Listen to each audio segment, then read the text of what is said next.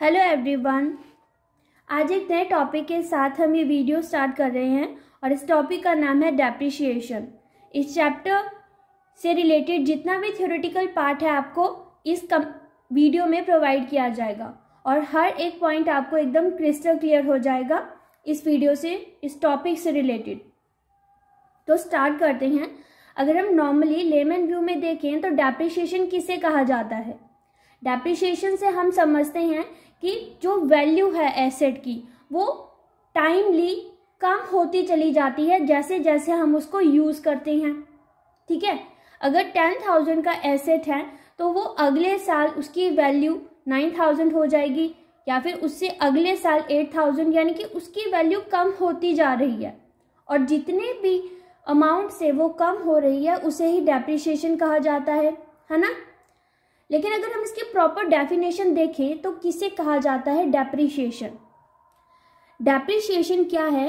It is the process of allocation of the cost of fixed asset over its useful life is known as depreciation उस asset की जितना भी cost है, जब हम उसको एलोकेट कर देते हैं, उतने ईयर्स के लिए जितने ईयर्स में हमने उसको यूज़ किया है तो उसे कहा जाता है डेप्रिशिएशन तो वैल्यू का कम होना और उस प्रोडक्ट का यूज़ होना, वो भी कांस्टेंट यूज़ हम करते जा रहे हैं। और जैसे जैसे समय बीत रहा है, उसकी वैल्यू कम होती जा रही है।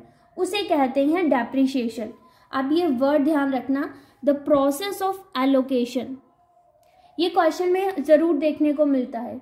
तो हमें जो ध्यान में आता है कि वैल्यू एसेट की कम हो रही है, बस हमें इतना पता रहता है। लेकिन जो कॉस्ट है एसेट की, जब उसको एलोकेट किया जाता है, उन सालों के लिए जिसमें उसको यूज़ किया है एसेट को, उसे कहते हैं डेप्रीशिएशन जैसे इसमें एग्ज़ाम्पल भी दिखा रखा है एसेट मान लो वन लैख का है। जैसे जैसे हम उसको फाइव ईयर्स के लिए यूज़ कर रहे हैं टेन ईयर्स के लिए यूज़ कर रहे हैं तो उन टेन ईयर्स बाद उसकी जो वैल्यू हो जा रही है, वो एट्टी थाउज़ेंड हो रही है। ये बुक वैल्यू की बात कर रहे हैं। मार्केट वैल्यू की बात नहीं कर रहे। मार्केट वैल्यू हो सकता है इस एसेट की बढ़ जाए, या फिर कम भी हो जाए। ये हम बुक वैल्यू की बात कर रहे हैं, जो ओरिजिनल कॉस्ट है प्रोडक्ट की। उसकी बात कर रहे हैं कि वो कम होके कुछ सालों बाद कम हो रही है, और कम क्यों हो रही है? क्योंकि उसके ऊपर डेप्रिशिएशन लग रहा है। उसे कहते हैं डेप्रिशिएशन इसको और अच्छे से क्लियर करेंगे इसके फीचर्स के साथ। अब फीचर्स क्या बोल रहे हैं? कि ये decline in the value of asset ये हम बहुत बार पढ़ चुके हैं कि जो वैल्यू ऑफ़ एसेट है, उसकी कम हो रही है जो वैल्यू उसे डेप्रिशिएशन बोलते हैं। लेकिन इसमें कोई एक्सेप्शनल केस आता है, वो है लैंड लैंड पे कभी भी डेप्रिशिएशन नहीं लगता। लैंड की जो वैल्यू है, वो वही रहेगी और समय के अनुसार उसकी वैल्यू इंक्रीज होगी, कम नहीं होगी। ठीक है? इसके अलावा परमानेंट नेचर का है। परमानेंट नेचर है। ये लगेगा ही लगेगा। जब जब हम एसेट को यूज़ करेंगे, तब तक उस पर डेप्रिशिएशन लगेगी और उसकी वैल्यू कम होती जाएगी।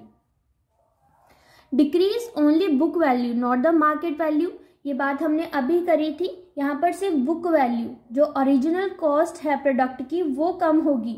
मार्केट वैल्यू कम या ज़्यादा नहीं हो रही। मार्केट वैल्यू तो डिपेंड करेगा कि आप डिमांड क्या चल रही है उस एसेट की।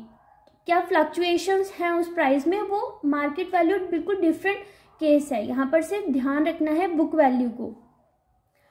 Not used for wasting assets जो वेस्टिंग एसेट्स हैं, उनके लिए ये डेप्रिशिएशन वर्ड यूज़ नहीं किया जाता। उसके लिए डिप्लीशन वर्ड यूज़ किया जाता है। जैसे माइंस हो गए ऑयल वेल्स हो गए, वहाँ से जो हम नेचुरल प्रोडक्ट निकालते हैं, जो नेचुरल गैस या फिर जो जो भी नेचुरल प्रोडक्ट है पेट्रोलियम क्रूड ऑयल वो डिप्लीशन होती है उसकी वैल्यू डेप्रीशिएट नहीं होती. इस चीज़ का भी ध्यान रखना. वैल्यू ज़रूर कम होती है, लेकिन हम उसको डेप्रिशिएशन वर्ड से नहीं लेते. डिप्लीशन वर्ड यूज़ किया जाता है वेस्टिंग एसेट्स के लिए. वैसे ही जैसे इनटेंजिबल एसेट्स के लिए हम एमोटाइजेशन वर्ड यूज़ करते हैं. है ना? डेप्रिशिएशन वर्ड यूज़ नहीं करते। इसके अलावा इसका लास्ट फीचर आता है नॉन कैश एक्सपेंस बिल्कुल, ये नॉन कैश एक्सपेंस है। यहाँ पर कैश का लेना देना नहीं है। यहाँ से हमारे पैसे नहीं जा रहे हैं। ये तो समय के अनुसार उसकी वैल्यू कम होती जा रही है। हम उसके लिए पेमेंट नहीं कर रहे डेप्रिशिएशन की। अलग से पैसे नहीं निकाल के दे रहे। वो तो उसकी वैल्यू ही कम होती जा रही है। इसीलिए इसको नॉन कैश एक्सपेंस कहा जाता है। नेक्स्ट है, अभी डेप्रिशिएशन होती क्यों है?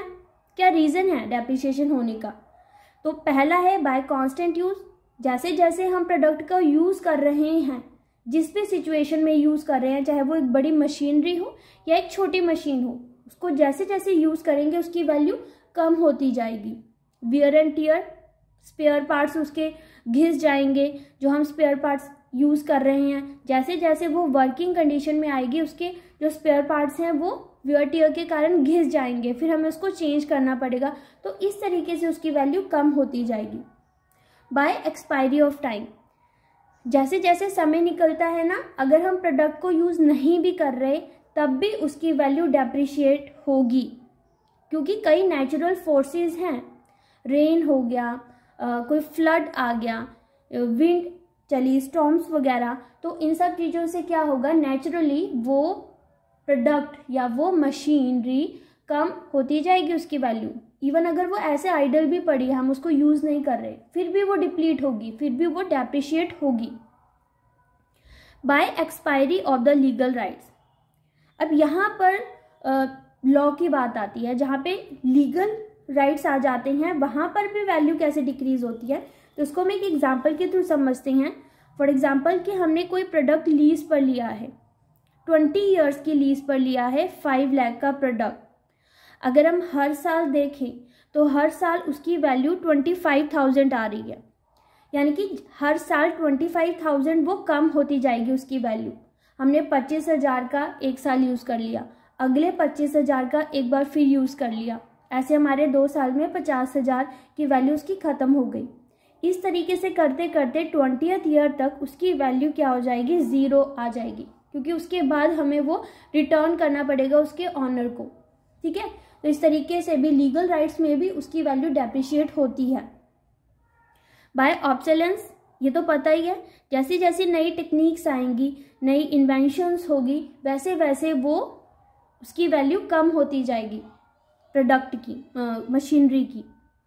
बाय डिप्लीशन ये हम बात कर चुके हैं। जितने भी वेस्टिंग एसिड्स होते हैं, उसकी भी वैल्यू कम होती है, लेकिन उसके लिए जो वर्ड हम यूज़ करते हैं, वो है डिप्लीशन बाय एक्सीडेंट कोई भी कारण हो सकता है फायर अर्थक्वेक फ्लड इन सब के कारण भी उस मशीनरी की, जो भी एसेट है हमारे पास, उसकी वैल्यू कम होगी। तो ये कुछ रीजंस हैं, जिससे डेप्रिशिएशन देखने को मिलती है एसेट में। अब क्या फैक्टर्स हैं? किन किन चीज़ों पर इफ़ेक्ट पड़ता है उस एसेट की जिससे उसकी वैल्यू कम हो रही है? सबसे पहले आता है टोटल कॉस्ट ऑफ़ प्रोडक्शन जो भी डेप्रिशिएशन लगता है, वो ओरिजिनल कॉस्ट पे लगता है प्रोडक्ट के। अब उस ओरिजिनल कॉस्ट में क्या आता है? सिर्फ़ उसकी वैल्यू नहीं आती। जो प्रोडक्ट की कॉस्ट है, सिर्फ़ उतना ही नहीं आता, बल्कि उससे रिलेटेड जितने भी हमने एक्सपेंसेस करे हैं, उसको इंस्टॉल करने तक। वो सब उसमें इंक्लूड होते हैं। कॉस्ट तो आएगा ही। साथ में फ्रेट उसको लेके आने के जितना भी फ्रेट लगेगा वो ट्रांजिट इंश्योरेंस जो कराई जाएगी वो भी उसमें इंक्लूडेड होगा। इंस्टॉलेशन कॉस्ट जो लगेगी वो भी इंक्लूड होगा।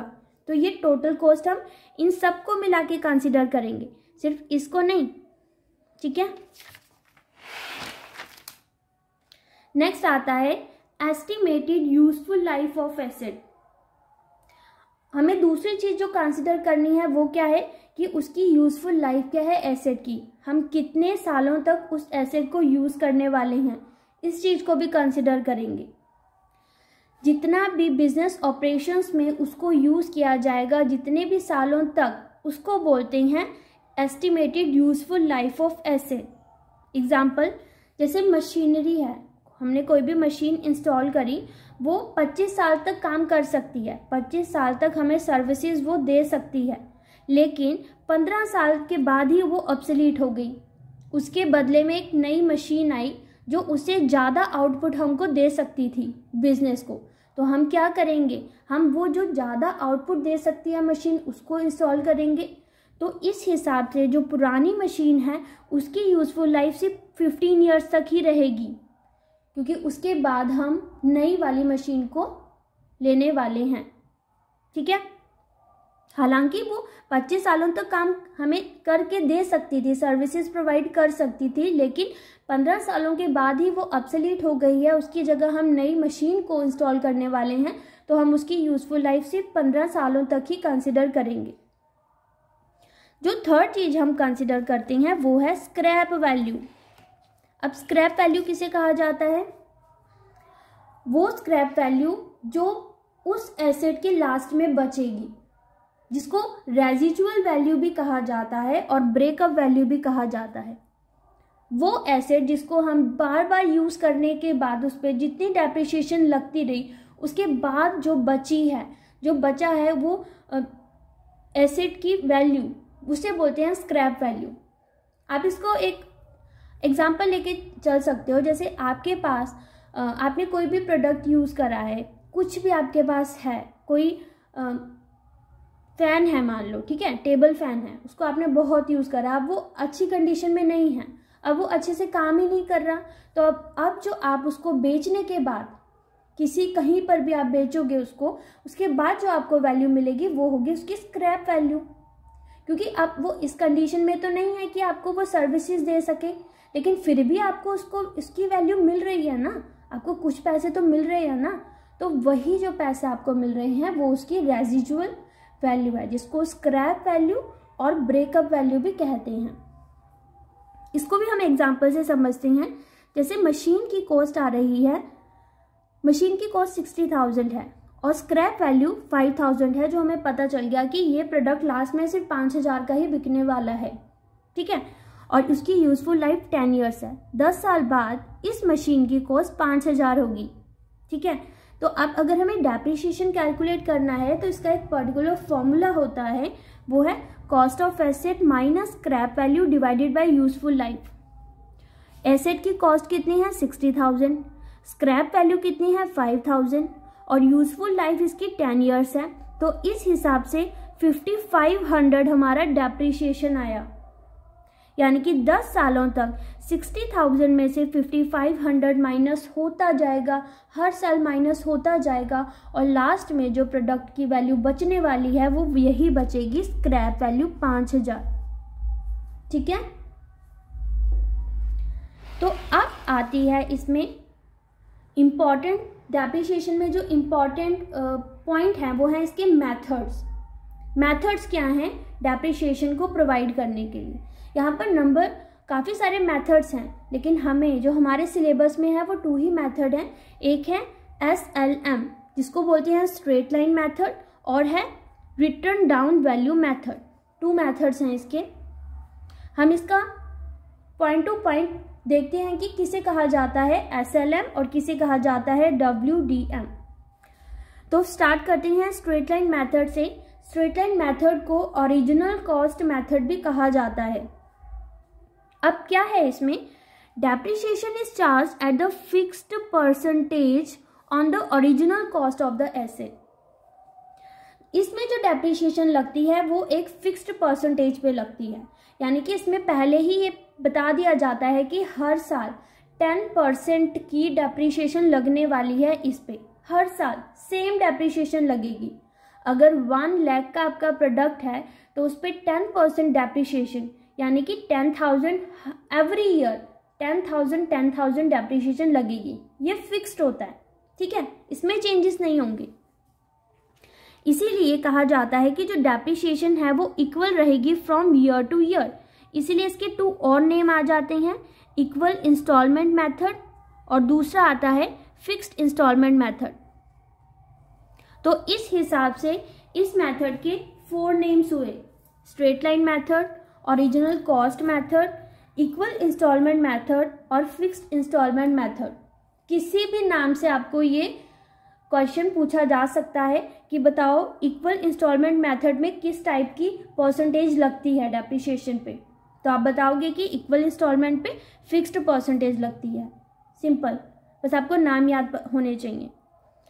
अब इसका जो फॉर्मूला है, आपको फॉर्मूला वही याद रखना है जो अभी थोड़ी पहले हमने करा था कि डेप्रिशिएशन क्या है? ओरिजिनल कॉस्ट में से स्क्रैप वैल्यू माइनस करेंगे और डिवाइड होगी estimated life of the asset ठीक है? अब इसमें जो चीज़ ध्यान में रखनी है वो क्या है कि जो कॉस्ट है प्रोडक्ट की, जैसे जैसे उस पर डेप्रिशिएशन लगेगी तो वो रिड्यूस होके ज़ीरो भी आ सकती है और स्क्रैप वैल्यू भी आ सकती है। समझ आया? मतलब जैसा भी क्वेश्चन में गिवन होगा, अगर क्वेश्चन में स्क्रैप वैल्यू गिवन नहीं है तो इसकी वैल्यू रिड्यूस्ड होगी to zero if it is given in the question scrap value तो उसकी ओरिजिनल कॉस्ट रिड्यूस होके उतनी वैल्यू आएगी जितनी स्क्रैप वैल्यू है, बचेगी. इसको भी हम एग्ज़ाम्पल के थ्रू समझेंगे.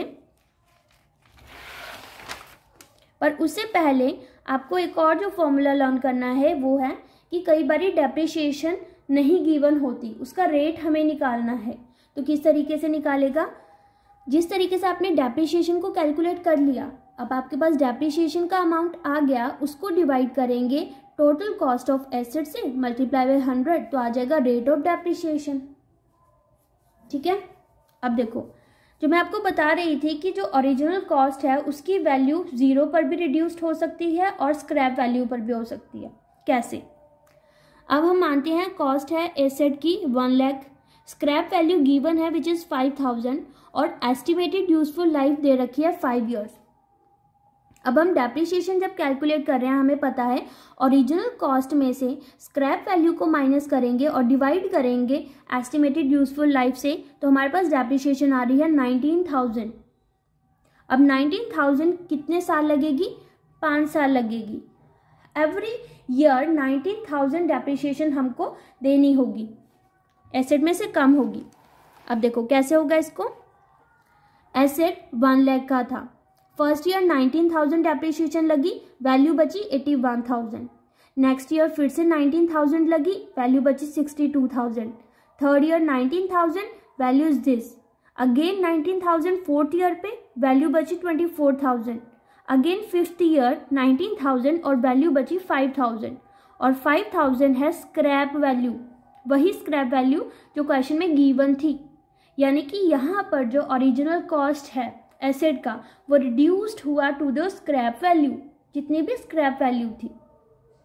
और आपने ये भी नोटिस करा कि हर साल सिर्फ़ नाइनटीन थाउज़ेंड नाइनटीन थाउज़ेंड ही डेप्रिशिएशन लग रही है.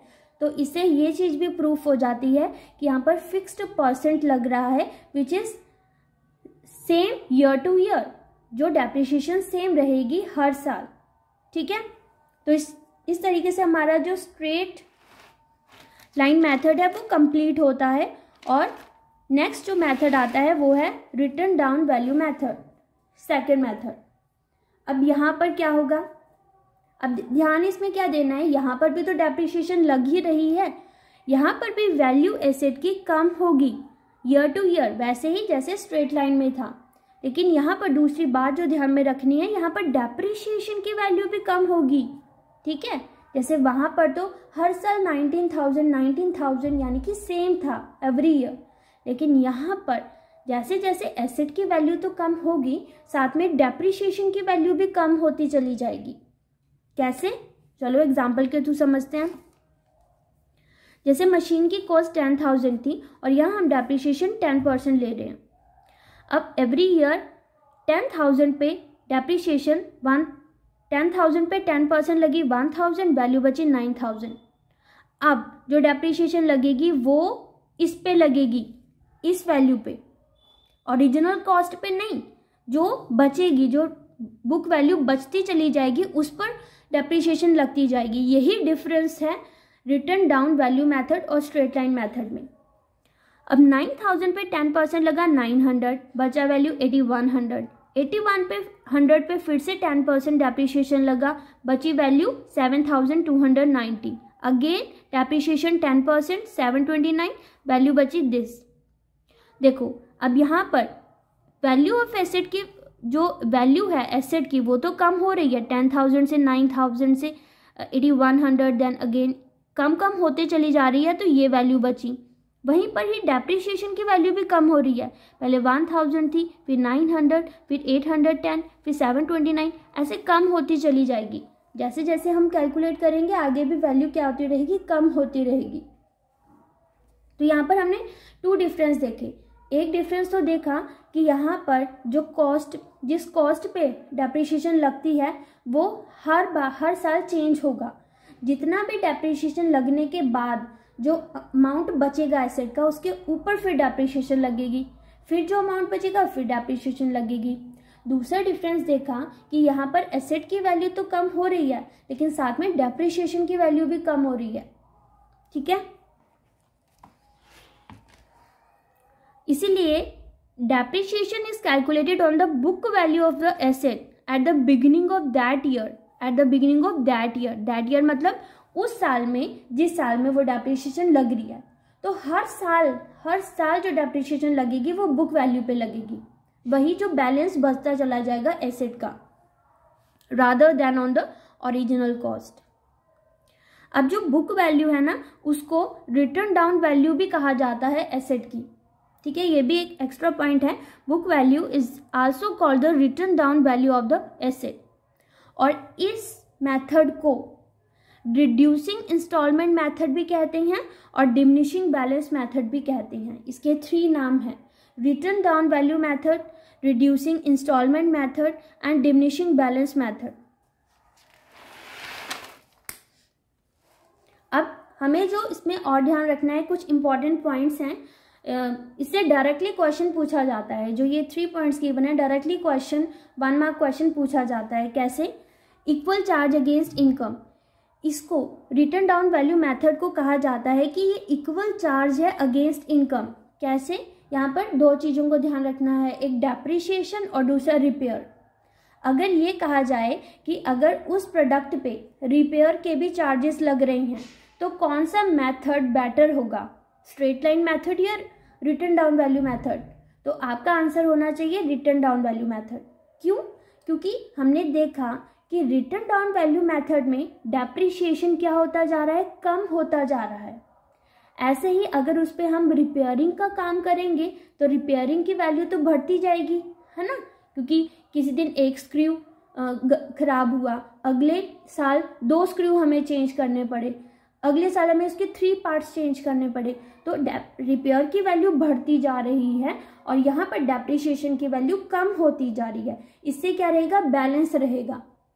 लेकिन अगर हम ओरिजिनल कॉस्ट में देखें ओरिजिनल कॉस्ट में क्या है? उसमें तो फिक्स्ड डेप्रिशिएशन लग रही है। हमने देखा था ना एग्ज़ाम्पल में नाइनटीन हर साल नाइनटीन नाइनटीन थाउज़ेंड चल रहा है। मानो, पहले साल नाइनटीन थाउज़ेंड की डेप्रिशिएशन थी और वन थाउज़ेंड का रिपेयर था। अगले साल नाइनटीन थाउज़ेंड की डेप्रिशिएशन और टू थाउज़ेंड का रिपेयर अगले साल फिर नाइनटीन थाउज़ेंड की डेप्रिशिएशन और उसके नेक्स्ट ईयर थ्री थाउज़ेंड का रिपेयर तो ऐसे तो रिपेयर रिपेयर तो बढ़ता जा रहा है और डेप्रिशिएशन वैसी की वैसी है तो इससे हमारा अमाउंट क्या होएगा? बढ़ जाएगा। इसीलिए the amount of depreciation goes on decreasing well the expenses on the repair goes on increasing इसीलिए ये बैलेंस बना के रखती है रिपेयर्स और डेप्रिशिएशन में। आई होप आपको ये पॉइंट समझ आ गया होगा क्योंकि बहुत इंपॉर्टेंट पॉइंट है। जब भी आपको पूछा जाए ना कि रिपेयर रिपेयरिंग वाले चार्ज और डेप्रिशिएशन में कौन सा मेथड बेटर होगा तो आप हमेशा टिक करना written down value method second आता है कि balance of asset is never written off to zero जैसे हमने ओरिजिनल उसमें करा था स्ट्रेट लाइन मेथड में करा था कि यहाँ पर डेप्रिशिएशन की वैल्यू मतलब ओरिजिनल कॉस्ट है जो प्रोडक्ट की, वो रिड्यूस्ड होगा या तो ज़ीरो पे या तो स्क्रैप वैल्यू पे। यहाँ पर कभी भी वो ज़ीरो नहीं जाएगा, कभी भी नहीं जाएगा। उसकी वैल्यू कम होती जाएगी, लेकिन कभी भी ज़ीरो नहीं आएगा। Depreciation is debited to profit and loss account so long as to asset remain in use जब तक हम उस एसेट को यूज़ कर रहे हैं, तब तक वो डेप्रिशिएशन एक एक्सपेंस की तरह प्रॉफिट एंड लॉस में दिखाया जाएगा, लेकिन वो कभी भी ज़ीरो नहीं होगी उसकी वैल्यू कभी नहीं होगी। नेक्स्ट जो थर्ड पॉइंट आता है, ये है approved method income tax authority income tax authority ने कौन सा मेथड को अप्रूव किया है? बेटर जो मेथड है, किसको माना है? इसको रिटर्न डाउन वैल्यू मेथड को इसको अप्रूवल मिली है क्योंकि ये एक सही आ, सही कॉस्ट दिखा रही है एसेट की। ठीक है? अब फटाफट से इसको समराइज कर लेते हैं इसके डिफरेंस के थ्रू स्ट्रेट लाइन मेथड और written down value method amount of depreciation क्या थी? इक्वल थी हमें पता है लेकिन यहाँ पर ये हो रही है गोज ऑन डिक्रीजिंग हर साल उसकी डेप्रीशिएशन की वैल्यू कम होती जाएगी। बेसिस ऑफ़ कैलकुलेशन क्या है? ये डेप्रीशिएशन ओरिजिनल कॉस्ट पे चार्ज की जाती है, जबकि ये रिड्यूसिंग बैलेंस पे, यानी कि उस पर्टिकुलर ईयर के बुक वैल्यू पे। रिड्यूस करने के बाद जो भी बुक वैल्यू बचेगी, उसके ऊपर कैलकुलेट होगी डेप्रीशिएशन ज़ीरो लेवल की बात करें तो बिल्कुल सही है it is reduce to zero ये रिड्यूस किया जा सकता है ज़ीरो पे वैल्यू आ सकती है या फिर स्क्रैप वैल्यू पर भी, जबकि ये never to be reduce to zero ये कभी भी ज़ीरो पे नहीं जाएगा। Combined effect of the depreciation and repairs on profit and loss account अगर ये पूछा जाए कि क्या इफ़ेक्ट होगा डेप्रिशिएशन और रिपेयर का प्रॉफिट एंड लॉस अकाउंट में तो पहले सालों में तो ये लाइटर रहेगा। क्योंकि पहले सालों में रिपेयर तो कम होगी ही रिपेयर का अमाउंट तो कम होगा और डेप्रिशिएशन भी कांस्टेंट रहेगा। लेकिन बाद में क्या हो जाएगा? डेप्रिशिएशन तो उतना का उतना कांस्टेंट है और रिपेयर हमारी बढ़ जाएगी। इसीलिए ये हैवियर हो जाएगा इस पर जो बर्डन होगा। जबकि यहाँ पर क्या होगा? Almost equal over different year almost equal होगा। क्योंकि अगर डेप्रिशिएशन की वैल्यू कम होती जा रही है और रिपेयर की वैल्यू बढ़ती जा रही है तो वो ऑलमोस्ट क्या रहेगा? बैलेंस ही रहेगा। यहाँ पर mainly rate of depreciation low रखी जाती है as compare to the written down value method और वहीं पर रिटर्न डाउन वैल्यू मेथड की जो डेप्रिशिएशन है, वो हाई रखी जाती है as compare to the straight line method अब सूटेबिलिटी देखें। तो ये किसके लिए सूटेबल है? उन एसेट के लिए सूटेबल हैं जो जहाँ पे ऑप्सलेंस की पॉसिबिलिटी और रिपेयर चार्जेस कम लगते हों।